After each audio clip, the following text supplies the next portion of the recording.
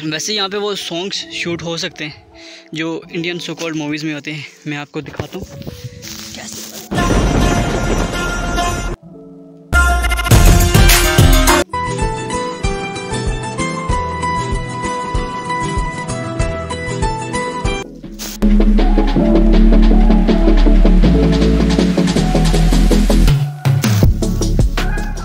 I know थोड़ा ज़्यादा हो गया, लेकिन वैसे वाली।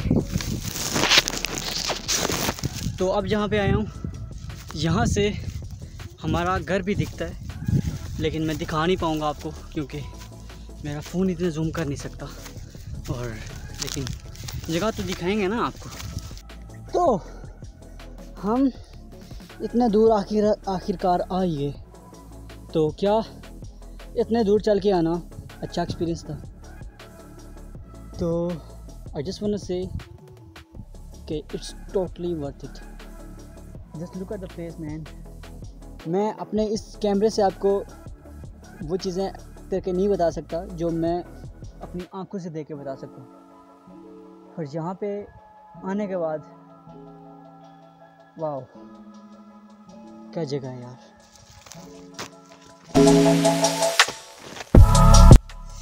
व्यू कैसा है? अच्छा है ना? अच्छा है तभी तो वहाँ पे फ़ोन रखा है।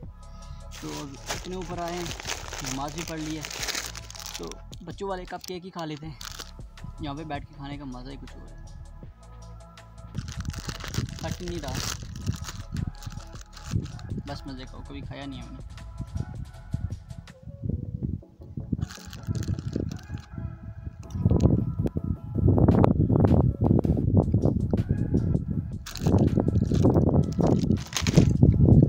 वही वही पे होना चाहिए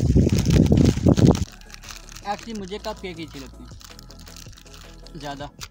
पर यहाँ से ज़्यादा चीज़ें मिलती हैं नहीं। खा लो कप केक। एफ़ ले लो। चीज़ें यहीं भी छोड़ देते हैं। कोई आएगा तो खा लेगा।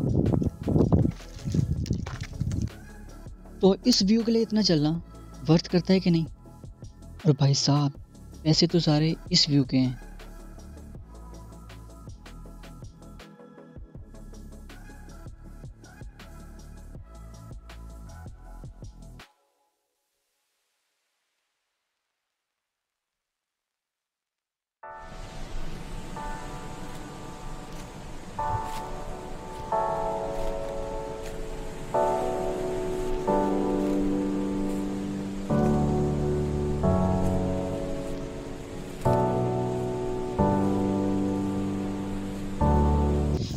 करते हैं इतने दूर आए हैं इस लम्हे को यादगार बना देते हैं।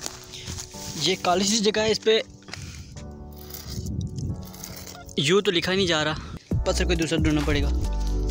हाँ हाँ। इसको छोड़ो। ये नहीं ये है। अल्लाह खैर करे।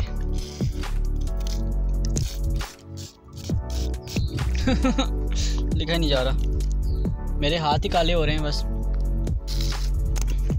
नहीं लिखा जा रहा। तो ये लम्हा यादगार नहीं बना, पर ये लम्हा यादगार बन गया। जी, अल्हम्दुलिल्लाह।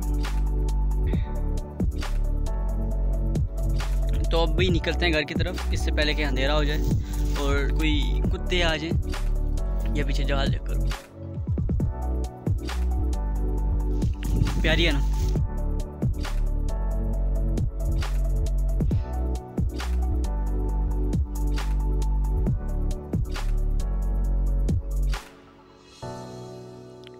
और वो जो रोड है, ये जाती है सांझा, जो जहाँ पे उस दिन में क्या हुआ नहीं था जो मैंने वो ब्लॉग भी अपलोड किया था कज़न के था, वो, और ये है टाडा, नीचे, वो वो है टाडा, ये था बड़ा चंबर, और अभी मैं बड़ा चंबर और टाडा के दरमियान खड़ा तो आपके लिए एक काम था कि आप मुझे भैया बताओ